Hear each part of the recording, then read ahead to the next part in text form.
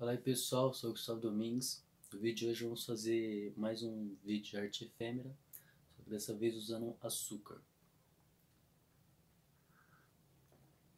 Eu vou fazer o pica-pau, aquele que geralmente as pessoas desenham, que é aquele que tá bravo, assim, aquele que ele tá bravo.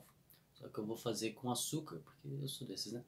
Arte efêmera, se você não sabe o que é arte efêmera, eu vou deixar aqui no card, ou aqui, não sei que lado fica. E vamos aí fazer. Lembrando, não importa o que você colocar na minha frente, vai virar arte. Sou o Gustavo Domingues e até a próxima.